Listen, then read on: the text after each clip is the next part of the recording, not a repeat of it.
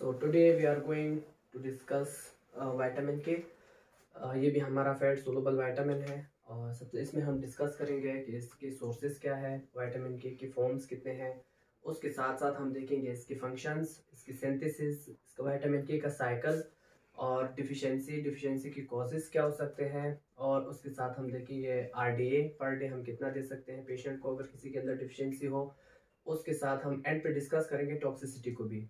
सो so, पहले start करते हैं विटामिन के के बारे में हल्की सी description vitamin K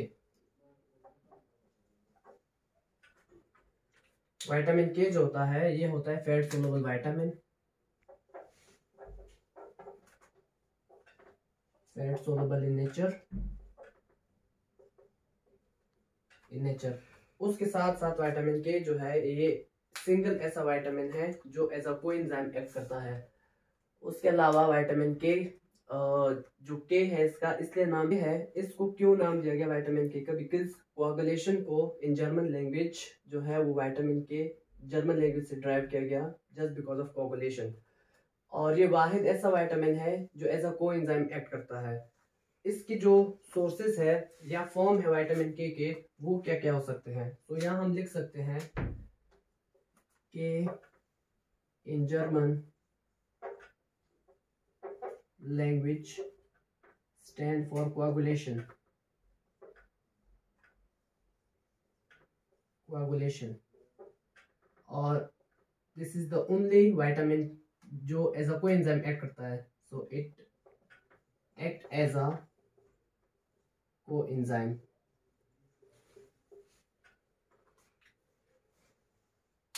इसके साथ साथ हम देखेंगे forms of vitamin K. Vitamin K जो होता है, ये तीन फॉर्म में एग्जिस्ट करता है। के वन के टू एंड के थ्री इसकी जो क्लासिफिकेशन है या फॉर्म है, कुछ सोर्सेस के बेस पे भी है और उसके अलावा कुछ इसके सिंथेसिस के बेस पे भी है। के वन जो होता है के वन इसको फाइलोक्विनिन भी कहते हैं। फाइलो फिनॉन भी कहते हैं साइटोफिनॉन और की टू जो होता है, इसको मेनाक्विनोन कहते हैं। और की थ्री थ्री जो है, इसको मेनाडायोन भी कहते हैं। ये सारे जितने भी डेरिवेटिव्स हैं, ये डेरिवेटिव्स होते हैं नेफ्ता क्विनिन के। Naphtha with non-derivatives. So all three forms are the derivatives of naphthaquinone along with along with carbon isoperinoid chain prenoid chain जो हमारे पास कार्बन चेन होते हैं आइसोपेरिनॉइड की फाइलोक्विनोन के पास होती है ट्वेंटी कार्बन चेन, और जो मेनाक्विनोन है इसके पास होती है thirty carbon chain. K one and K two, ये प्रेजेंट होते हैं नेचुरली। जो फाइलोक्विनोन होता है, ये प्रेजेंट होता है ग्रीन लीफी वेजिटेबल्स के अंदर। प्लांट सोर्सेज है इसका। Plant source.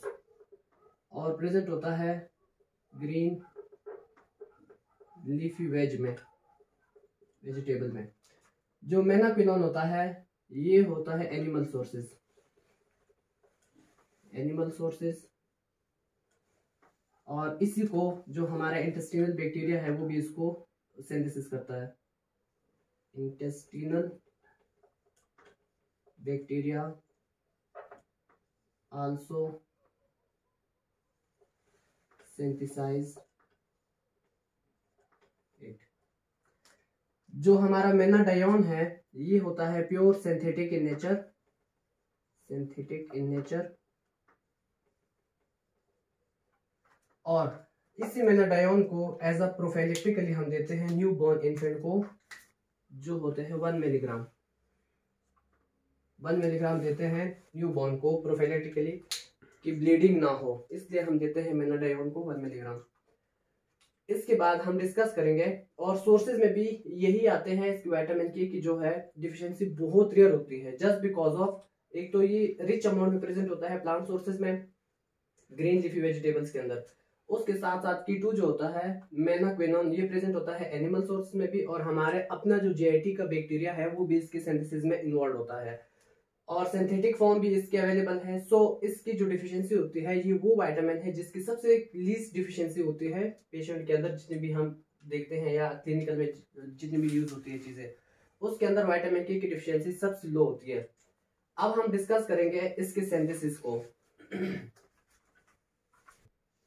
अब हम डिस्कस करेंगे synthesis of vitamin K vitamin K cycle बहुत इंपॉर्टेंट होता है जब हम अपने दो ड्रग्स यूज़ करते हैं, जैसे वारफरिन है और उसके साथ साथ इसके लिए इसके सिंथेसिस के स्टेप बहुत इंपॉर्टेंट होते हैं। और वाइटामिन के सिंथेसिस कैसे होता है, अभी हम साइकिल को डिस्कस करते हैं। सबसे पहले जो हमारे वाइटामिन के के सिंथेसिस के स्टेप इसमें सबसे पहले जो हाइड्रोक्विनोन फॉर्म होता है, वो कन्वर्ट होता है by the presence of three enzyme carbon dioxide oxygen species और उसके साथ साथ कार्बोक्सिलेज यहाँ हम क्या करते हैं ग्लूटामिक जो हमारा होता है ग्लूटामिक जो होता है, उसको हम कन्वर्ट करते हैं ग्लूटामिक एसिड में by the help of carboxylase enzyme carbon dioxide along with the oxygen species उसके बाद हमारे पास बनता है epoxide form of vitamin K then again एक स्टेप जो होता है उसके ऊपर एक और एंजाइम एक्ट करता है, जिसको हम कहते हैं वाइटामिन के रिडक्टेज वो क्या करता है, जो हमारा रिड्यूस लिपोपोइक एसिड होता है, उसको कन्वर्ट करता है ऑक्सीडाइज लिपोपोइक एसिड में. By the help of vitamin K reductase और उसके बाद जाके हमारे पास जो वाइटामिन के की फॉर्म होती है क्विनोन फॉर्म में आ जाता है हमारे पास विटामिन के अगेन एनएडीपीएच और रिडक्टेज एंजाइम ऐड करते हैं, उसको दोबारा हाइड्रोक्विनोन में कन्वर्ट कर देते हैं. So let me discuss one by one here hydroquinone converted into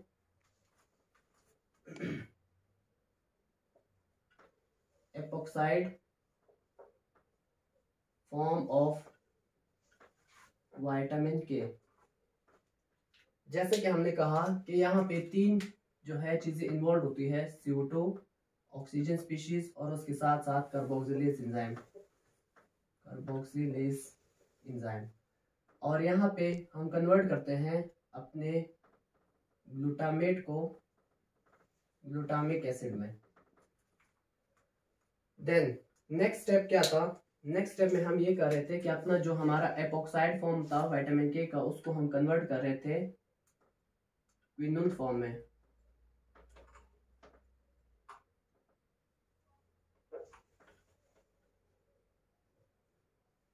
quinine form में। Quinone form of vitamin K इधर जो एंजाइम इन्वॉल्व था, उसको हम कहते हैं वाइटामिन के रिडक्टेज रिडक्टेज ये क्या कर रहा था?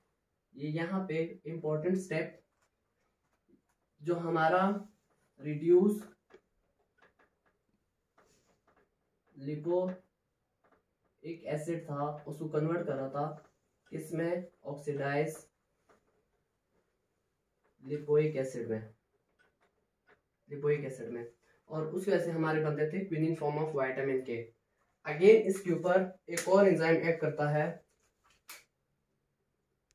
जो कन्वर्ट करते हैं इसको हाइड्रोकिनोन फॉर्म में।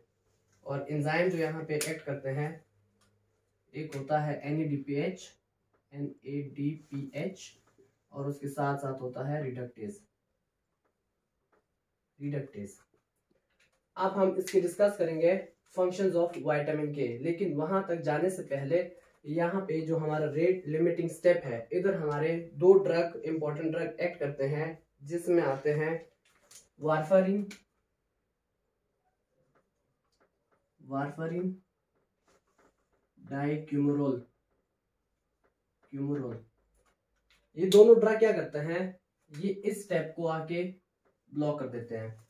जब भी हम जो है हमारे कोगुलेशन वगैरह को रोकते हैं या कोई भी थ्रोम्बस फॉर्मेशन हो, उसको ख़त्म करने के लिए हम वारफरिन वगैरह देते हैं या हेपरिन देते हैं। वो क्या करते हैं? कोगुलेशन नहीं होने देते।